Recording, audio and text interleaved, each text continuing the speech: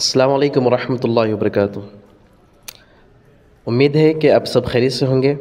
दोस्तों, आज का जो जॉब है, आपने तो वीडियो का टाइटल और थंबनेल तो देख लिया है। तो वीडियो को लास्ट तक देखना है। अगर आपको इस वीडियो को देखकर जॉब के लिए अप्लाई करना है तो आपको वीडियो को लास्ट तक देखना पड़ेगा।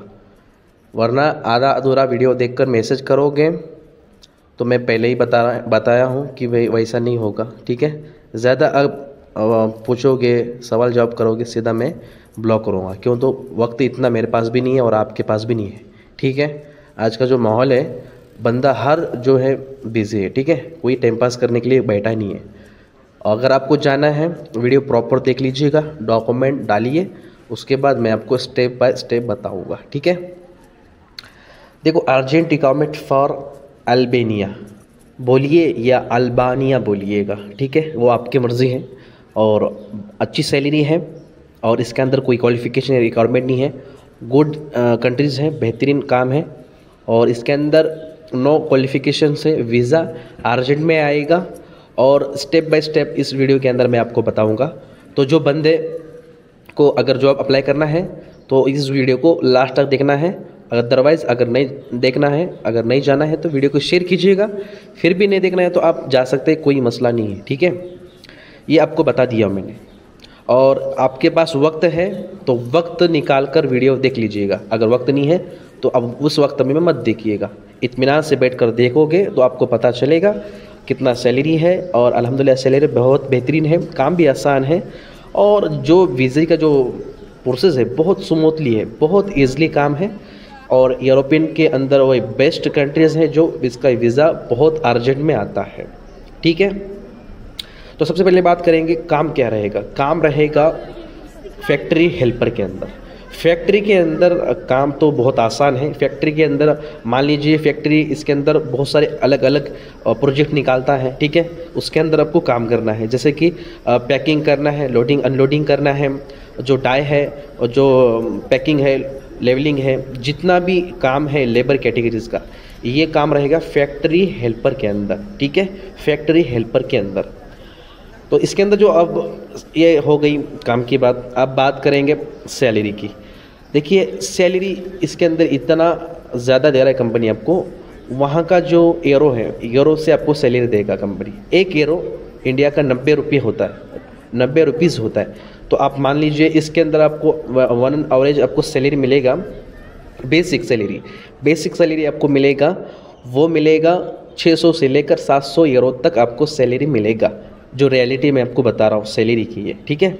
इस जॉब के अंदर आपको 600 से लेकर 700 यूरो तक आपको सैलरी कंपनी प्रोवाइड करेगा, ठीक है?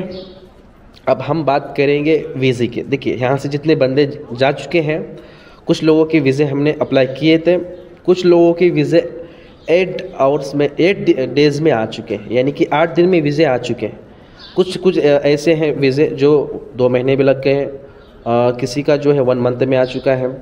तो वहाँ की एम्बेसी के ऊपर है। हमारी इसके ऊपर कोई नहीं है। एम्बेसी जैसे वहाँ पे डॉक्यूमेंट्स जैसे भी वर्क करती हैं, उसी एतबार से वहाँ का प्रोसेस चलता है। ठीक है? सैलरी की बात कर लिए और इसके अंदर जो काम है, वो भी का, बात कर लिए। अब इसके अंदर जो एज है एज बंदा चाहिए हमें इक्कीस से लेकर फोर्टी फाइव तक बंदा चलेगा। फोर्टी फाइव तक चलेगा, ठीक है? वैसे तो इसके अंदर अठारह साल तक भी चलेगा। अठारह से लेकर फोर्टी टू फोर्टी थ्री तक चलेगा एजली इसके अंदर बेसिक इंग्लिश ये जैसे कि आना ज़रूरी है। जैसे कि वहाँ पर फैक्ट्री में काम होगा तो वहाँ पर बंदे को जो आगे वाला जो बोलेगा तो आपको अंडरस्टैंड होना चाहिए। बस यही है, ज़्यादा रिक्वायरमेंट नहीं है क्वालिफिकेशन कोई रिक्वायरमेंट नहीं है, सिर्फ़ बंदे को बेसिक इंग्लिश आना ज़रूरी है। और इसके अंदर जो पोस्टर टाइम है टू मंथ का प्रोसेस रहेगा और इसके अंदर जो वीज़ा है, अभी वीज़े की बात करेंगे, वीज़ा जो है, स्टैंपिंग नहीं होता है। जिस तरह से दुबई के अंदर हम हम जैसे वीज़ा अप्लाई करते हैं, उसी तरह से वहाँ पे वीज़ा आता है, जैसे पेपर पे ईमेल पे, वैसे ही वीज़ा आता है। बहुत आसान है इसके अंदर और जो एम, एम्बेसी का और जो वहाँ पर इंटरव्यू होता है, इमिग्रेशन वगैरह, कोई कोई नहीं है। डायरेक्ट इसके अंदर सी सिलेक्शन है। एक आपके पास कॉल भी जाएगा, ठीक है? अगर बंदा अगर बेसिक इंग्लिश अगर आया आ रहा है गुड है। अगर नहीं आ रहा है तो कोई मसला नहीं है। यहाँ से हम कॉल करेंगे, बात करेंगे। उसके बाद डॉक्यूमेंट सीधा डालना है। उसके बाद इंशाल्लाह स्टेप बाय स्टेप प्रोसेस रहेगा। ठीक है? अब इसके अंदर हम बात करेंगे डॉक्यूमेंट्स डॉक्यूमेंट क्या देना है? पासपोर्ट सबसे पहले रिज्यूम देना है। रिज्यूम के अंदर बंदे का नाम ईमेल आईडी रहना चाहिए। उसके बाद पासपोर्ट का front back COVID nineteen certificate passport size photos white background में एक ई फ़ाइल में देना है। ठीक है? ये डॉक्यूमेंट डालना है। अब कंपनी हमको क्या प्रोवाइड करेगा? एट हाउस का ड्यूटी रहेगा। एज बता दिया, काम क्या है वो भी बता दिया। और इसके अंदर जो बेनिफिट है, देखो, बंदा इंडिया से मूव होगा वर्क परमिट पे सॉरी ई वीज़ा रहेगा। ई वीज़े पे जाएगा। इसके अंदर कोई इमिग्रेशन का कोई लफड़ा नहीं है। कोई आपको प्रॉब्लम नहीं आएगा। ईजली स्मूथली इसका जो प्रोसेस है, और इधर यहाँ पे, माशाल्लाह वैकेंसी भी बहुत ज़्यादा नहीं है, कम है। जितने जल्दी आप अप्लाई करोगे, आपको बेटर रहेगा। कंपनी खाना, रहना अकोमोडेशन ट्रांसपोर्ट आपको प्रोवाइड करेगा। आप वेज है, आपको वेज मिलेगा नॉन वेज है नॉन वेज मिलेगा। दोस्त, आप, ये कॉन्टैक्ट रहेगा वन ईयर्स का। एक साल का कॉन्टैक्ट रहेगा, उसके बाद आपका वीज़ा एक्सटेंड होगा, ठीक है? और डॉक्यूमेंट प्रॉपर एक ही पी फ़ाइल में डालना है। अलग अलग पीडीएफ मत डालिएगा। ए वन पीडीएफ में डालना है, उसके बाद आपको बताऊँगा। स्टेप बाय स्टेप प्रोसेस होगा या सीधा आपको ऑफ़िस पे एड्रेस दूँगा मैं, ठीक है?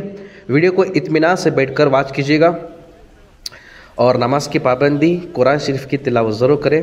असलकम वरहमल वर्का